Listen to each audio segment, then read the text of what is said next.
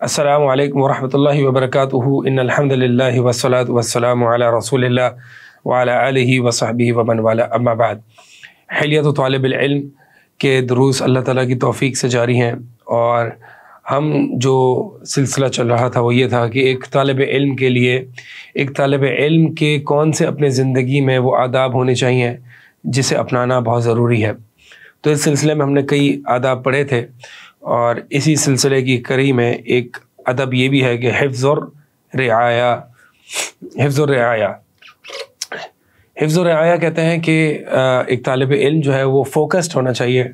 वो यानी रियायत करना, यानी अटेंशन पे करना, फोकस करना और समझना, अमल करना, ये सारे मानी जो है वो इस चीज़ में आते हैं। यानी इस रियायत की रियायत करना रियायत की हिफाजत करना, यानी अटेंशन और इसी तरह समझना, उस पर अमल करना। कौलमफ़ रहमल्ला तब्ज़ुलवसाफ़ी हिफ्ज़िल्मी हिफ्ज़ रियायत बिलअमली वत्तबा के बहुत ज़्यादा एफ़र्ट्स लगाओ बहुत ज़्यादा मेहनत करो इल्म की हिफाजत करने में यानी इसका इसका ख्याल रखने में इसकी रियायत करने में कैसे बिलअमली वत्तबा कि इस पर अमल करके और इसकी इतबा करके यानी जो इल्म आपने सुना है उसकी इतबा करके उसकी तस्दीक करके और उस पर अमल करके। कौल ख़तीब अलबगदादी रहमल्ला ताली यजब अला तालब नीयत फ़ी तलबी। एक तलब इल्म पर वाजिब है कि वो अपनी नीयत को तलब इल्म के लिए खालिश कर लें।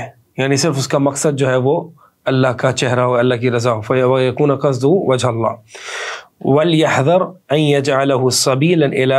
सबीला नईलअरादी व तरीकन अख़ज़ाबादी फ़क़त अलवईदमनबतमी लिहाजा फरमा रहे हैं कि एक इंसान को होशियार रहना चाहिए ख़बरदार हो जाना चाहिए डर जाना चाहिए कि वो इस तलब इल्म को अपने दुनियावी मकासद को हासिल करने का ज़रिया बना ले या फिर उस चीज़ का एक रास्ता बना ले कि जिसमें उस वो कोई दुनियावी मकासद या मुआवजा तलब करे फ़कत जा अलवईद लमन तगादमी बस कुरान और हदीस में वाईद आई है, वार्निंग्स आई हैं, सज़ा आई है उसके लिए कि जो इस तलब इल्म के पीछे उसके मकासद लाहियत नहीं होते, अल्लाह के लिए वो इल्म हासिल नहीं करता, बल्कि दीगर दुनियावी मकासद के लिए इल्म हासिल करता है। आगे फरमाते हैं वलियतक़िल्ला वलियतक़िल मुफ़ाखरा वलमुबाहत भी लिहाजा एक तालब इल्म को चाहिए कि वो अपने इल्म पर बहुत ज़्यादा फ़ख्र ना करे। अपने इल्म को लेके जो है वो लोगों के सामने इम्प्रेस करने के लिए लोगों का इल्म अपना झाड़ता ना फिरे। वहीं यकून कसदू फ़ी हदीसी नई लरियासा तो एक तालब इल्म को डर जाना चाहिए कि उसके तलब इल्म के पीछे कोई रियासत, यानी कोई अथॉरिटी चाहिए उसको, कोई कोई कुर्सी चाहिए, व तखादल अथवा फॉलोइंग चाहिए, व अक़दिल मजालस, और मजालस मनद के वो स्पीकर हैं और लोग ऑडियंस उनको सुन रही है। यानी ये अगर मकासद हैं तो इससे डर जाना चाहिए। फ़िन आफ़तदाखिलमाई अक्सर मिन हादल वज क्योंकि पर इस तरह की फ़ितने, इम्तहान, आफत, बुराइयाँ इसी नीयत की वजह से आती हैं, यानी इसी तरह से आती हैं। कि नीयत में इस तरह की ख़राबी आ गई कि मेरी फॉलोइंग बढ़ जाए, मेरी शोहरत के चर्चे हो जाएँ और इसी तरह जो है वो कुर्सी कोई लीडरशिप मिल जाए।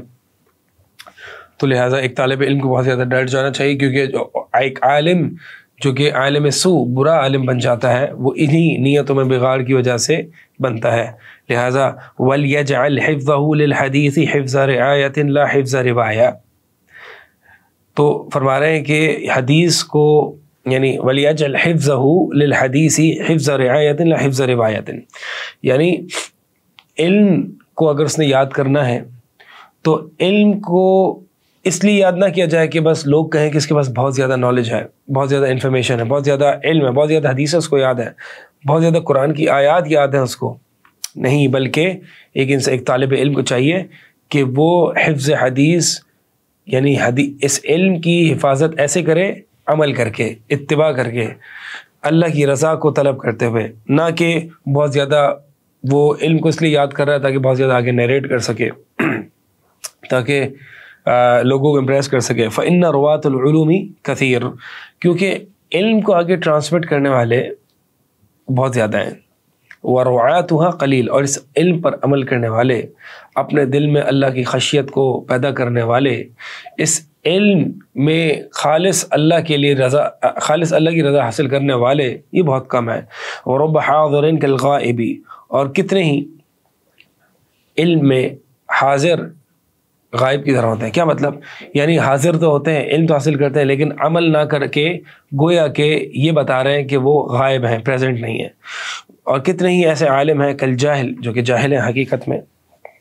वहामदीसी लई समामिन हुशैन इदा काना फ़ितराही लुकमी बमनज़लतन मारफती इल्मी फरमाते हैं क्योंकि इसके हुक्म पर अमल करने वाले यानी इसके हुक्म पर अमल करने वाले और उसको ज़ाया कर उसको ज़ाया करते हैं उसके हुक्म पर अमल आवरी और को अपने यानी ऐसे ज़ाया करते थे यानी उस पर अमल नहीं करते ऐसे ज़ाया कर देते हैं जैसे कि उसकी मार्फत और इल्म भी उसके साथ चला गया। यानी उस पर अमल ही, वो है कि इल्म हासिल किया ही नहीं है। यानी वो इल्म पर अमल नहीं करते, ऐसा लगता है कि इल्म हासिल किया ही नहीं है। आगे फरमाते हैं वयम बग़ीर तालब हदीसी तमयफ़ी आमत उमूर ही अन तराक़वामी इस्तेमाल आथारी रसोल सल्ला वसलम अमकना। व तोज़ीफ़ सुननी नफ़ी फ़िन अल्लाह लक़द कान लकुम रसूल उसवतुन हसना फरमाते हैं कि एक तालब इल्म को चाहिए कि अन तमैज़ फ़ी आमत उमूर ही अन कि एक लेमैन से आम लोगों से अपने आप को अलग रखें। यानी आप आम लोगों से लोग कहें कि ये आम आदमी नहीं, एक आलिम है, एक तालब इल्म है। तो यानी आम लोगों से अपने आप को अलग थलग रखें, यानी उठने बैठने में, अंदाज में, बातचीत की गुफ्तु में, अपने होलिये में, ये इसका यानी एक तालब इल्म का होलिया एक आम शख्स जैसा ना हो। और वो कैसे यानी एक तालब इल्म का होलिया, उसका उठना बैठना, उसकी बातचीत का अंदाज़, वो आम लोगों से मुख्तलिफ़ कैसे होगा? बिस्तेमाली आसार रसूल सल्ला आम करना जितना मुमकिन हो, अल्लाह के नबी अलैहिस्सलाम की सुन्नतों को अपने होलिये को आपकी सुन्नतों से मुजयन करना, यानी सुन्नतों पर अमल करना वह तोज़ीफ़ सुननी आला नफसी, और अमली तत्बीक देना नबी वसल्लम की सुन्नतों को अपने नफ्स पर, यानी सुन्नतों को अप्लाई करना। यानी एक शख्स है जो कि सुन्नतों पर अमल करता है ज़ाहिर सी बात है वो आम लोगों से अलग थलग नुमाया दिखता है कि ये नबी वसल्लम का मुतब है। लिहाजा फरमा रहे हैं कि एक तालब इल्म के लिए ये ज़रूरी है कि वो आम लोगों से नुमाया हो। यानी उसको डिस्टिंग्विश या डिफ्रेंशिएट किया जा सको। किस बुनियाद पर? कि उसके हुलिये में, उसके चेहरे, उसके हाथ, पाँव, उसकी बातचीत के अंदाज में नबी सल्लल्लाहु की सुन्नत की खुशबू हो। क्योंकि अल्लाह ताला ने फरमाया कि लक़द खान लकुम फ़ी रसूल उसवतन हसना, क्योंकि बिलाशुबा रसूलुल्लाह सल्लल्लाहु अलैहि वसल्लम, यानी तुम्हारे लिए अल्लाह के नबी वसल्लम में एक उसवा हसना है, एक रोल मॉडल है वो तुम्हारे लिए। तो ये अदब है कि जिसका एक अख्ताम हुआ। दूसरा, इसके आगे जो एक तालब इल्म, कि जो अपने तलब इल्म की ज़िंदगी में उसने आदाब का ख्याल रखना उनमें से एक अदब तआहुदुलमहफूज़ात यानी जो उसने याद किया है, इल्म जो उसने मेमोराइज़ किया है, उसको रिवाइज करे। ताहद यानी रिविजन रिविजन करना उन चीज़ों को जो उसने ऑलरेडी मेमोराइज़ की। महफूजात, यानी जो हिफ, हिफ्स की भी चीज़ें उसको, और ये वाकई एक, यानी हिफ्स को दोहराना रिवाइज करना बार बार रोज़मर्रा की बुनियाद पर फ्रीक्वेंटली उसको रिवाइज करते रहना, वो चीज़ जो याद है। हम जो लोग कुरान हिफ्स करते हैं, उनको पता है, जो हदीस हिफ्स करते हैं, ऐसा नहीं है कि एक दफ़ा हिफ्स करके उन्होंने छोड़ दी, बल्कि उनको रिविजन फ्रीक्वेंटली करना पड़ता है। और ये फ्रीक्वेंट रिविजन जो है, वो बाज़ अवत बोरिंग भी हो जाता है, बाज़ अवत दिल भी उगता जाता है। बाज़ अवत दिल नहीं चाह रहा होता तो इसके लिए बहुत ज़्यादा सब्र चाहिए कि इंसान एक तालब इल्म अपने इल्म को रोज़मर्रा की बुनियाद पर कंटिन्यूसली रिवाइज करता रहे। कौलमफ़ रहमल्ला ताहद इल्म का मिन वक्त आखर, यानी इल्म को रिवाइज करते रहो, अपने जो इल्म को जो आपने इल्म हासिल किया है। उसको रिवाइज करते रहो। मिन वक्त आखिर, यानी टाइम से time from from time to time इस इल्म को रिवाइज करो। अदम महमा कान। क्योंकि फ्रीक्वेंट या कंटिन्यूस रिविजन ना करना, इल्म को बार बार ना दोहराना, ये उनवान है। उनवान कहते हैं अलामत है इल्म के चले जाने की। यानी इल्म के जाने की एक अलामत है कि इंसान उस इल्म को रिवाइज नहीं करता। और ये बहुत इंपॉर्टेंट बात है खसूस स्टूडेंट्स ऑफ़ नॉलेज के लिए। और वो ये है कि उमूमन और मैं अपने स्टूडेंट्स को ये बताता भी रहता हूँ ख़ुद भी आ, अपने आप को तंबी भी करता रहता हूँ क्योंकि सबसे पहले तो कमज़ोरी हमारे अंदर ही होती है। तो एक ये है कि हमें जो है वो नई से नए सब्जेक्ट्स नई से नई क्लासेस आज नया चैप्टर पढ़ेंगे आज नया बाप पढ़ेंगे आज नई हदीस पढ़ेंगे आज नई सूरत पढ़ेंगे। इसमें तो एक तालब इल्म मोटिवेटेड होता है और एंथुजियास्ट एंथुजियास्टिक भी होता है, यानी, और उसको रगबत भी होती है अच्छा चलो आज कोई, हम नई चीज़ पढ़ेंगे, हम आज नई चीज़ पढ़ेंगे, नई किताब पढ़ेंगे, नया सब्जेक्ट पढ़ेंगे, नई क्लास होगी। तो एक तालब इल्म, नई चीज़ पढ़ना कोई कमाल नहीं है। लिसन टू दिस वापस से, नई चीज़ पढ़ना और इसमें मोटिवेटेड रहना कोई कमाल नहीं है। असल कमाल ये है कि जो आप पढ़ चुके हैं, उसको दोहराते रहें, उसको रिवाइज करते रहें। ठीक है? तो इल्म को रिवाइज करना ये असल चीज़ है। नए से नया इल्म, नई से नई तब्दीली, नया से नया चेंज ये कोई इल्म का कमाल नहीं, बल्कि ये तो यूनिवर्सिटीज़ कॉलेजेस हम नई सेकुलर एजुकेशन में भी होता है कि हम अगले साल नेक्स्ट सेमेस्टर एक थोड़ी सी मोटिवेशन होती है अच्छा नया कुछ पढ़ने को मिलेगा। तो असल चीज़ ये नहीं होती। असल जो कुरान, हदीस का जो इल्म है, वो रिविजन से आता है रिविजन से।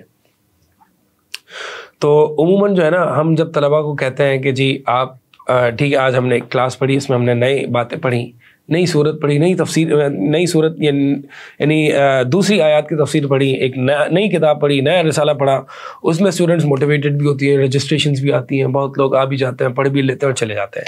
लेकिन जब हम तलबा को कहते हैं अच्छा जी, मुझे ये बताइए कि कल का जो लेक्चर है, या जो पिछली हमने किताब पढ़ी थी, वो कितने लोगों ने रिवाइज़ की? तो शायद आप एक भी हाथ नहीं देखेंगे कि वो खड़ा हुआ है और वो कह रहा है कि जी, मैंने रिवाइज़ किया था।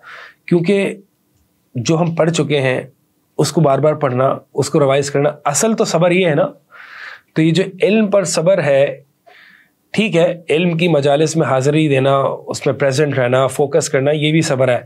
ये एक बहुत बड़ा सबर है जो कि तलबा में उमूमन लैकिंग होता है, यानी जो तलबा में उमूमन नहीं पाया जाता, कि रिवाइज करना अपने इल्म को। क्या पढ़ा था, आज हमने क्या उस्ताद से पढ़ा है, घर पे जाके रिवाइज करना। फिर इसी तरह मैं एक थोड़े टाइम बाद time to time time to time revise करते रहना। ये बल्कि हमारा तो हाल ये है कि मिसाल के तौर पर अगर हमने दो साल पहले किताब तोहहीद मिसाल के तौर पर पढ़ी होती है तो अगर हम वापस से किताब तोहहीद अगर पढ़ाएँ तो एक तलबा सा, एक बोरिंग सा एटीट्यूड आ जाता है कि ये क्या, वाप हम तो ये ऑलरेडी पढ़ चुके हैं। अच्छा जी, अब जब उनसे पूछा जाता है अच्छा इस बाब में हमने क्या मसाइल पढ़े थे? तो बिल्कुल कुछ भी याद नहीं होता। तो मुझे बताएँ कि फिर हम ये नई सी नई चीज़ें क्यों हासिल कर रहे हैं, जब पता है हमें एक साल बाद याद रहनी नहीं है। जब एक साल एक साल बाद तो बहुत मैं दूर की बात बता रहा हूँ, कल याद नहीं रहनी ऐसे भी, यानी अक्सर तलबा का मालसफ़ शदीद, सॉरी टू से दैट, अक्सर तलबा इंक्लूडिंग मी यही हाल होता है कि जो आज पढ़ा है, कल याद नहीं रहता कि हमने क्या पढ़ा। कल याद नहीं रहता कि हमने क्या पढ़ा। तो मुझे पता है फिर क्या हम टाइम ज़ाया कर रहे हैं? क्या कर रहे हैं? मतलब जब एक चीज़ मैंने पढ़नी है और मैं इसको पढ़ रहा हूँ, उस वक्त लज्जत मिल रही है, उस वक्त मज़ा आ रहा है पढ़ने में, ठीक है? लेकिन जब आगे ये चीज़ मुझे फ़ायदा देनी, वो चीज़ याद ही नहीं रह रही। फ़ायदा तो तब देगी ना जब वो चीज़ जहन में, दिल में बैठेगी, याद रहेगी। जब वो चीज़ मुझे कल तक याद ही नहीं है तो उसका मतलब यह है कि मैंने जो इल्म हासिल किया था, या तो उस पर अमल नहीं किया, उसको हिफ्स भी नहीं किया। क्योंकि अगर एक इंसान उसको जो इल्म आता है, उस पर अमल करता है तो वो चीज़ याद रहती है। सलफ़ ही फरमाया करते थे कि हम अपने इल्म को, की हिफाजत करते थे, इल्म को याद रखते थे अमल करके। और ये आप तजुर्बा कीजिएगा, जो भी आप नया इल्म हासिल करें, उस पर अमल करें, आप देखिएगा, वो इल्म आपके अंदर महफूज हो जाएगा। तो मैं ये कह रहा था कि ये बताएँ कि जब कल मेरा हाल ये होना है कि जो मैंने आज पढ़ा है, वो मुझे याद ही नहीं रहेगा। तो फिर मैं आज का एक, दो, तीन घंटा मैं क्यों ज़ाया करूँ? मैं क्यों ज़ाया करूँ? कि जब मैंने जो आज पढ़ा, वो कल मुझे याद ही नहीं रहेगा। तो लिहाजा, सिर्फ़ उस वक्त पढ़ने की लज्जत को हासिल करना है या इल्म के और बड़े मकासद हैं, इस पर अमल करना है, उसका ख्याल रखना है, उसको प्रोटेक्ट करना है। अल्लाह की खुशनुदी हासिल करनी है। असल मकसद तो यही है ना। तो लिहाजा ठीक है, अगर आपके पास टाइम नहीं है थोड़ा सा इल्म हासिल करें, लेकिन उसको याद करें, उसको रिवाइज करें। बजाय इसके कि आप नई से नई किताबें चेंज करें सब्जेक्ट्स चेंज करें, और नए से नए टॉपिक्स आप उलमा से नए से नई हदीसें, रोज़ नया कुछ पढ़ें, इससे बेहतर ही है यानी अगर आपके पास टाइम नहीं है टाइम कंस्ट्रेंट है, ठीक है थोड़ा सा पढ़ें, उसको रिवाइज करें। रिविज़न पे बहुत ज़्यादा टाइम लगना चाहिए, असल बात यह है, और यही इस आदा, बहुत इंपॉर्टेंट आदाब है। शेख साल समीन फरमाते हैं, शेख मोहम्मद बिन साल फरमाते हैं कि हमने हिफ्स हिफ्स किया और हमने किताबें बहुत पढ़ी और हिफ्स भी किया, लेकिन जो हमने हिफ्स किया वही आगे इन द फ्यूचर वही हिफ्स ने हमें फ़ायदा दिया और जो हमने पढ़ा उसने इतना फ़ायदा ना दिया। तो लिहाजा इल्म वही आपके काम आएगा जो आपने उस इल्म की जिसकी हिफाजत कर ली और वो इल्म की हिफाजत दो चीज़ों से होगी रिविजन उसको रिवाइज करना फ्रॉम टाइम टू टाइम उस पर अमल करना। चलते हैं आगे। फरमाते हैं, अन इबन उमर। इबन उमर अभी हदीस पेश कर रहे हैं।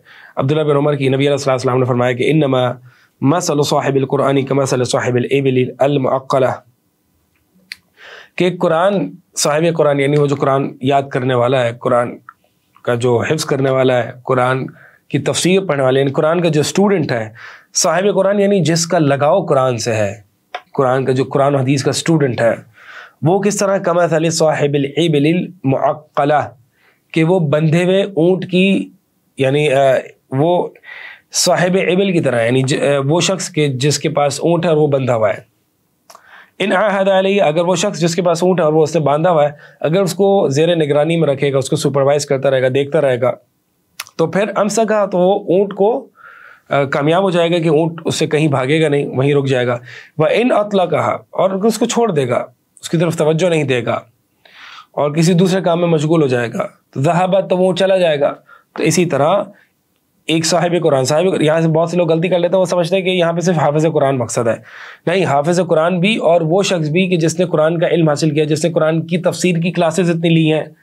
आप देखिए कुरान की तफसीर की क्लासेस जिससे ली हैं उससे आप दो दिन बाद पूछिएगा कि इस आयत का मतलब क्या है? ये ये फ़लाँ लफ्ज़ का मतलब क्या जो हमने पढ़ा था दो दिन पहले? याद है? नहीं, याद नहीं है। क्यों याद नहीं आ रहा? रिविजन नहीं किया। रिवाइज नहीं किया था। तो नबी सलाम की ये बहुत अहम इंपॉर्टेंट एडवाइस है, नसीहत है, हुक्म है कमांड है कि एक कुरान के स्टूडेंट चाहे वो हिफ्स का स्टूडेंट है, चाहे वो तफसीर का स्टूडेंट है, या किसी भी तरीके का कुरान का स्टूडेंट है या वो हदीस का स्टूडेंट है। अगर वो उसको फ्रीक्वेंटली रिवाइज नहीं करेगा तो चला जाएगा। और हाफिज़ इबन अब्दुलबर रहमल्ला फरमाते हैं कि इस हदीस में दलील है कि जो शख्स इसको रिवाइज नहीं करेगा जहाबान मन खान तो ये इल्म चला जाएगा, चाहे वो शख्स जो भी कुछ, कितना ही उसका हाफजा तेज क्यों ना हो, कितना ही इंटेलिजेंट क्यों ना हो, वो इल्म चला जाएगा। लेना का नदाल अलकुरान लगैर क्योंकि उस वक्त जो इल्म था वो कुरान था इसके अलावा नहीं था यानी सहाबा के ज़माने में कुरान हदीस के अलावा और इल्म नहीं था आज ूम आलिया हैं यानी वो के जिसके ज़रिए हम आले के तौर पर कुरान हदीस को समझते हैं जैसे कि इल्मनहफ़ इल्मसरफ़ है और इसी तरह अदब है इसी तरह उसूल उसूलफ़ है उसूल तफसीर है उसूल हदीस वगैरह वगैरह तो फरमाया उस वक्त तो सिर्फ़ कुरान होता था वैदा कान और फरमाते हैं कि अगर कुरान जो कि याद दहानी के लिए अल्लाह ताला ने, नसीहत के लिए अल्लाह ताला ने आसान कर दिया है। वलकद यस्सर न अलक़ुरान वलकद यस्सर नलक़ुरान ज़िक्री फ़ाल मुद्दकर। अल्लाह ताला कुरान में फरमाता है कि हमने कुरान को याद दहानी के लिए आसान कर दिया है तो है कोई नसीहत हासिल करने वाला? तो जब कुरान याद दहानी के लिए कुरान को आसान कर दिया, और कुरान का ये हाल है कि अगर उसको रिवाइज ना किया जाए तो ये चला जाएगा तो फिर दीगर उलूम के बारे में इंसान का क्या ख्याल है? यानी अकीदे का इल्म है, हदीस का इल्म है। तो दूसरा तो बिल बिलौला उनको ज़्यादा फ्रीक्वेंटली रिवाइज करना पड़ेगा। व खैरमिमा ज़ुबित असलहू, वज़तुज़किर फ़रहू वक़ाद वदल्लामा और सबसे बेहतरीन इल्म में से सबसे बेहतरीन इल्म कौन सा है? वो इल्म है कि जिसके उसूल को असबर कर दिया कर दिया जाए। यानी अगर उसूल इंसान को याद होंगे तो यानी उसूल क्या है? उसूल जो है वो इल्म को चंद कवायद की बुनियाद पर जमा कर देता है, समराइज कर देता है। जैसे कि उसूल तफसीर है, उसूल हदीस है कवायदुल्फ़िया है, ये सारे वो उसूल, इल्म के वो उसूल हैं जो पूरे इल्म को चंद पॉइंट्स में समराइज कर देते हैं। तो बेहतरीन उलूम कौन से हैं? कि जिसके उसूल को असबर कर दिया जाए, जिसकी फाउंडेशन और जिसकी प्रिंसिपल्स को याद कर लिया जाए, असबर कर लिया जाए वस्तुज़ गिरा फ़र और जिसके फ़्रुयात को, यानी जुज़ियात को दोहराया जाए। वक़ाद अल्लाह और जो अल्लाह की तरफ़ इंसान को ले जाए। वदल्लामा और इंसान की रहनमाई करे उस तरफ़ जो अल्लाह ताला को पसंद है। ये सबसे बेहतरीन इल्म है। ये चार बातें इंपॉर्टेंट है, ये याद रखिएगा। इल्म के असूल को असबर कर लिया जाए, याद कर लिया जाए। इल्म पूरा याद नहीं हो सकता, उसके असूल को याद कर लिया।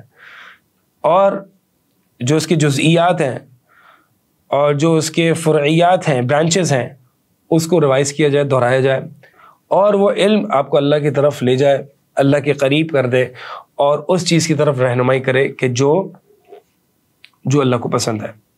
वक़ाल बादहम और बाद ने फरमाया, कुल लम युक्द बिल्म फ़लान मसीर हो कि हर वो इज़्ज़त कि जो इल्म से मुतद नहीं, इल्म के साथ सपोर्टेड नहीं है, जो इल्म की बुनियाद पर कायम नहीं है, वो उसका जो अंजाम है, वो ज़िल्लत है।